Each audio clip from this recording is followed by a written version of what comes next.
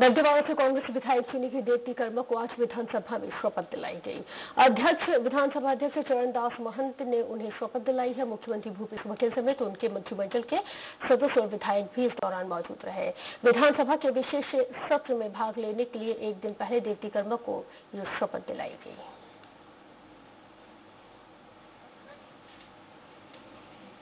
आशीष तिवारी विशेष संवाददाता इस वक्त छत्तीसगढ़ की राजधानी रायपुर से हमारे साथ जुड़ गए हैं। आशीष जी देवती कर्म को शपथ दिला दी गई है और अब जिस तरह से विधानसभा में देखा जाए तो कांग्रेस के संख्या बल में और ज़्यादा इजाफा। देखिए, बिल्कुल संख्या बल में इजाफा हुआ है। कांग्रेस स्टेट या सिक्सटी नाइन सीटों के साथ कांग्रेस का दल बल सदन के भीतर नज़र आएगा। दंतेवाड़ा उपचुनाव में एक जिस तरीके से मुकाबला बीजेपी और कांग्रेस के बीच हुआ तो कांग्रेस ने बीजेपी की जीती हुई सीट को छीना है। 2018 के चुनाव के दौरान यहाँ से बीजेपी के भीमा मंडावी ने जीत दर्ज किया था, लेकिन लोकसभा चुनाव के दौरान एक नक्सल घटना में उनकी मृत्यु हो गई थी और बाई इलेक्शन कराया गया था। भीमा मंडावी की मौत के बाद अब इस सीट पर देवती कर्मा बतौर विधायक अब काम करेंगी, क्योंकि छत्तीसगढ़ विधानसभा का सत्र विशेष सत्र जो है, कल से शुरू हो रहा है। ऐसे में ठीक एक दिन पहले देवती कर्मा को शपथ दिलाया है विधानसभा अध्यक्ष डॉक्टर चरणदास महंत ने।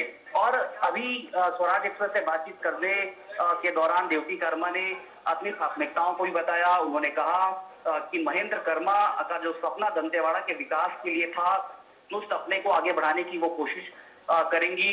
पंद्रह सालों तक बीजेपी की सरकार के दौरान दंतेवाड़ा का उस स्तर पर विकास नहीं हुआ, अंदरूनी इलाकों का उस स्तर पर विकास नहीं हुआ, जिसकी ज़रूरत दंतेवाड़ा को थी। और दंतेवाड़ा में इन जरूरतों को लगातार नजरअंदाज पिछली सरकार ने किया है। ये तमाम आरोप भी लगाया है उन्होंने, क्योंकि अब कांग्रेस की सरकार है तो ऐसे में देवती कर्मा ये उम्मीद करती है कि दंतेवाड़ा विकास की प्राथमिकता में सरकार की पहली कड़ी साबित होगा। इसके अलावा भीमा मंडावी की मौत के बाद जिस तरीके से दंतेवाड़ा का सियासी समीकरण बदला है, यकीनन कांग्रेस के पक्ष में फैसला आया। और अब चित्रकूट में जिस तरीके से बाई इलेक्शन होना है उसे लेकर कांग्रेस दमखम लगा रही है। मुख्यमंत्री भूपेश बघेल ने अभी थोड़ी देर पहले मीडिया से बातचीत करते हुए कहा है कि चित्रकूट कांग्रेस का गढ़ है और चित्रकूट में भी दंतेवाड़ा की तर्ज पर कांग्रेस बड़ी जीत दर्ज करेगी। बिल्कुल वाकई में क्योंकि आशीष जी अगर छत्तीसगढ़ की प्रोनोलॉजी देख लेते हैं तो जितने भी बाई इलेक्शन हुए हैं सत्ता पक्ष को हमेशा ही फ़ायदा मिला है और हमेशा जीत हासिल हुई है। देखिए बिल्कुल रूलिंग पार्टी का एक बड़ा प्रभाव तो होता है। बाई इलेक्शन जब होते हैं और सत्ता में जिस पार्टी की सरकार होती है तो कहीं ना कहीं ये माना जाता है या एक जनरल परसेप्शन भी है कि उस पार्टी के कैंडिडेट को ज़्यादा तवज्जो मिल सकती है। क्योंकि एडमिनिस्ट्रेटिव सपोर्ट भी कहीं ना कहीं अप्रत्यक्ष तौर पर सरकार के साथ होता है। तो ये तय था। लेकिन जिस तरीके से कांग्रेस के लिए बड़ी खुशी इस लिहाज से निकलकर सामने आई कि बीजेपी की जीती हुई सीट थी दो हज़ार अठारह के चुनाव में और कांग्रेस ने वहाँ पर बड़ी जीत दर्ज की। लेकिन अब चित्रकूट में जो बाई इलेक्शन होना है इसे एक तरीके का वॉकओवर कांग्रेस मानकर चल रही है, क्योंकि 2018 के चुनाव की बात करें 2013 के विधानसभा चुनाव की बात करें वहाँ पर बीजेपी के, माफ़ कीजिएगा, कांग्रेस के उम्मीदवार जीत दर्ज करते रहे हैं। तो ऐसे में चित्रकूट को लेकर ज़रूर कांग्रेस भी ग्राउंड पर जाकर मेहनत कर रही है।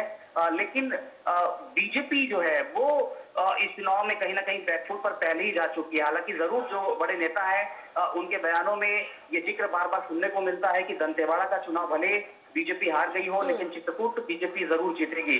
लेकिन ग्राउंड से जिस तरीके की रिपोर्ट आ रही है वो रिपोर्ट कांग्रेस के फेवर में ज़्यादा नज़र आती है। हालाँकि कहना अभी जल्दबाजी होगी अभी नॉमिनेशन की प्रक्रिया पूरी हुई है तीन तारीख को नॉमिनेशन वापस का वापसी का दौर होगा और उसके बाद इलेक्शन कैंपेनिंग की शुरुआत होगी। तो ऐसे में देखना होगा कि कौन सी पॉलिटिकल पार्टी दमखम लगाती है। बिल्कुल आशीष जी क्योंकि अगर चित्रकूट विधानसभा उपचुनाव के अगर बाई इलेक्शन की हम बात कर ही रहे हैं तो अगर कैंडिडेट सेम होता तो एंटी इनकम्बेंसी का भी आ, मामला समझ में आता लेकिन इस मरतबा तो, तो कैंडिडेट भी चेंज हो गया है। कांग्रेस का देखिए कैंडिडेट का बदला जाना कांग्रेस के लिहाज बहुत ज़्यादा नुकसानदेह स्थिति नहीं है क्योंकि चित्रकूट में 2013-2018 के विधानसभा चुनाव में दीपक बैज लगातार जीत दर्ज करते रहे और लोकसभा चुनाव जीतने के बाद उनकी सीट वैकेंट हुई हम्म। और जिस राजमन बेंजामिन को कांग्रेस ने टिकट दिया है उस टिकट के परे भी यदि यहाँ पर पॉलिटिकल एनालिसिस करें तो कांग्रेस अपनी शाख को कमज़ोर करना नहीं चाहेगी क्योंकि। कांग्रेस की गाँव गाँव में जो अभी भी नहीं है, पंद्रह साल से नहीं था, विकास नहीं हुआ, वो विकास आज पुल पुलिया है, रोड है, आपका गाँव का जो स्वास्थ्य है, शिक्षक है, उनके लिए गाँव तक हम पहुंचाएँगे। दंतेवाड़ा की जागरूक जनता ने जिन उम्मीदों, जिन आशाओं के साथ कांग्रेस पार्टी के प्रत्याशी को आज़ादी के बाद ऐतिहासिक वोटों से विजय दिलाई है। इस जीत में सबसे ज़्यादा श्रेय जाता है दंतेवाड़ा क्षेत्र की जागरूक जनता को। माननीय भूपेश बघेल साहब के नेतृत्व में जो आठ महीने की सरकार है, उनकी योजनाएँ हैं, उनकी नीतियाँ, उनको वहाँ की जनता ने मुहर लगा दी है और कांग्रेस पार्टी का जो सिद्धांत है, सबको लेके चलने का, उसमें हम काम करेंगे। आशीष तिवारी छोड़े।